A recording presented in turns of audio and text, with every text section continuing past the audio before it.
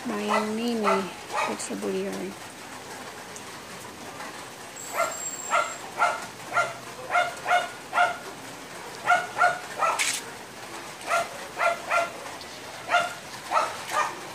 Ang mga maliliit na municipal.